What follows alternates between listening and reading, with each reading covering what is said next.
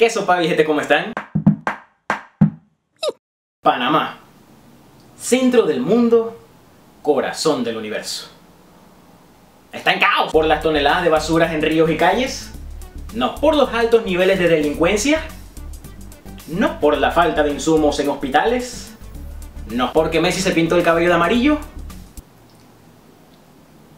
Honestamente, agradezco que tampoco sea por eso. Se rescata entre las cenizas legislativas de la Asamblea el anteproyecto de ley número 85, o mejor conocido como el proyecto de ley 61, por la cual se adoptan políticas públicas de educación integral, atención y promoción de la salud, o como alguien por ahí que decidió llamarlo, Ley de Educación Sexual. Este proyecto de ley busca aplicar en el ámbito nacional la formación integral sobre la salud sexual y la salud reproductiva, o sea, abejas y flores para el pueblo. Pero como siempre, ante todo intento de cambio, siempre salen los tres grandes grupos civiles. Los que están a favor, los que están en contra y a los que les importa una ñinga. Antes de seguir, quiero aclarar que este no es un video para mostrar cuál es mi posición respecto al asunto, sino para comentarles de algo que me preocupa muchísimo. Hace unas semanas hubo una marcha realizada por las personas que estaban en contra de la ley, lo cual me pareció bastante bien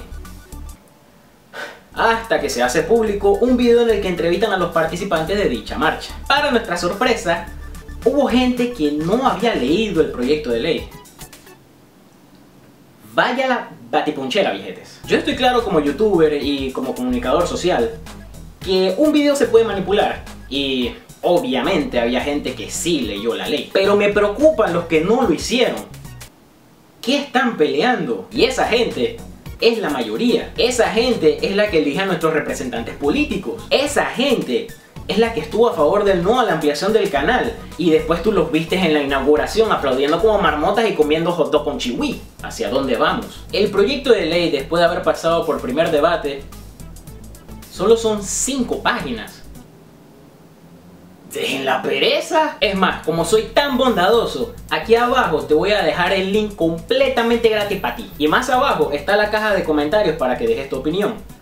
Por favor, edúquese antes de escribir y respete la opinión ajena. Para terminar les quiero dejar una frase de reflexión. Es interesante que en plena era de información sea tan fácil desinformarse. Y bueno, como ya saben, mi nombre es Kikeli y será hasta los próximos videos. Cuídense.